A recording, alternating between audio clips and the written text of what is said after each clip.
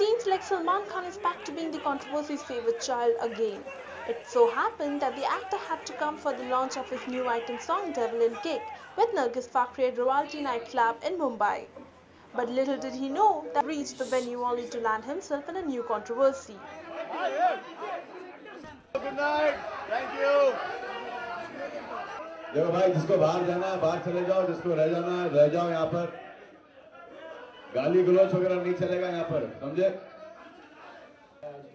A source present at the event revealed that when Salman reached the venue, all the photographers were trying their level best to click the star in the crowd and requested Salman's sponsors to give them a space to capture the actor. But things went haywire and the manager of the club behaved very unpleasantly with the photographers and yelled at one of them very rudely.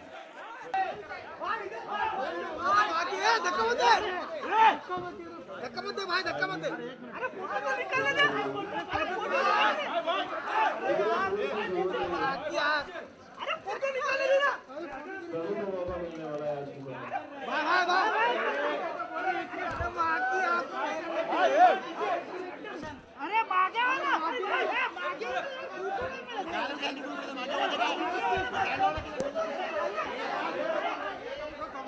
जो नीचे रह रहे हैं वो रह रहे हैं जिनको जाना है वो चले जाओ What is the big deal?